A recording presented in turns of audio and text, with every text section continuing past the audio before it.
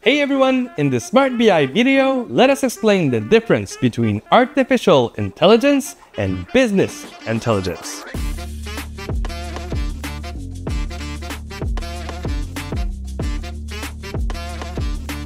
Okay, first, let's dive into the fascinating world of artificial intelligence and business intelligence. If they seem similar, well, they actually represent two very distinct concepts. Let me explain. Let's start with artificial intelligence or AI.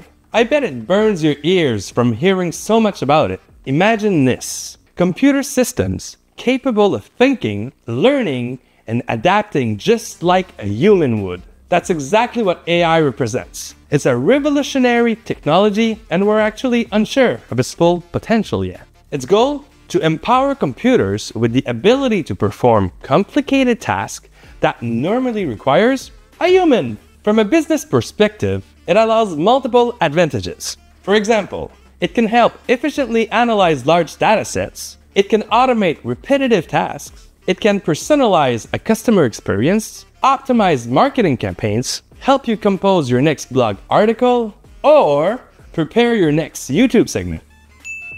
Now, let's talk about business intelligence.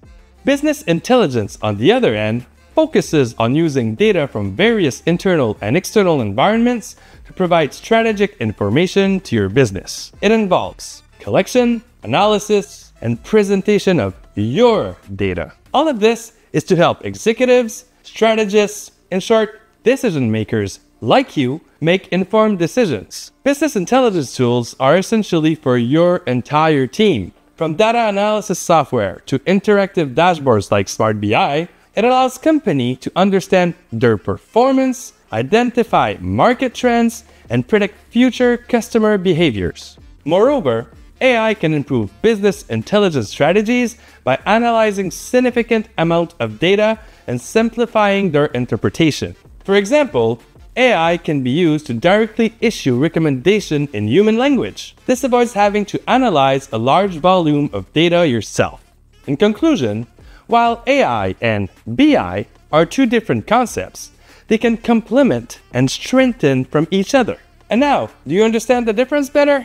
If you enjoyed this segment, don't hesitate to like and subscribe to our Smart BI channel. See you soon!